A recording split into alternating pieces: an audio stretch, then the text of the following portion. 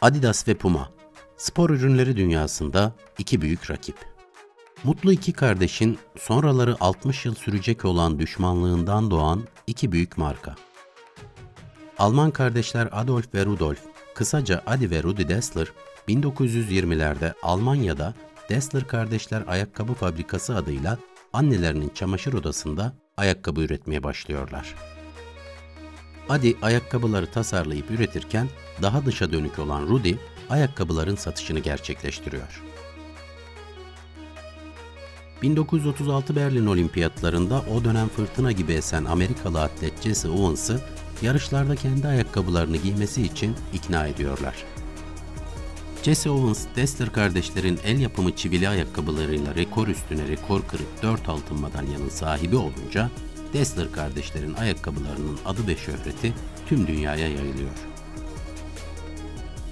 Zamanla aralarında büyük anlaşmazlıklar çıkıyor ve 1948 yılında birer düşman olarak ayrılmaya karar veriyorlar.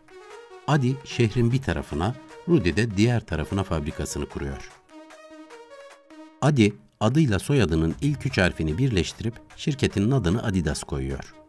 Rudy ise önce kardeşini taklit edip şirkete Ruda ismini veriyor fakat sonra Puma yapıyor. Şehirdeki hemen hemen herkes bu iki şirketten birinde çalışmaya başlıyor.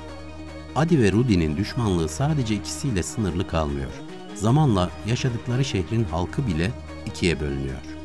Bir fabrikada çalışanlar diğerinin olduğu tarafa geçmiyor, birbirlerinin gittikleri market ve restoranlara gitmiyor, hatta iki şirket çalışanları arasında evlilik bile yasaklanıyor. Bir müddet sonra yaşadıkları şehir eğik boyunların şehri olarak tanımlanmaya başlıyor. Bunun nedeni ise insanların birbirleriyle konuşmadan önce ilk olarak hangi ayakkabıyı giydiğine bakmasından kaynaklanıyor.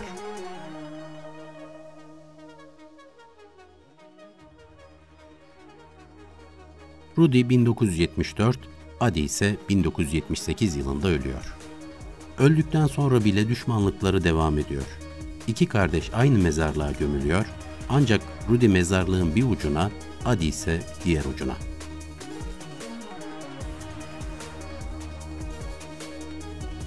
Adidas ve Puma arasında tam 60 yıl süren bu düşmanlık, 2009 yılında iki şirketin çalışanları arasında yapılan bir dostluk maçıyla sona eriyor.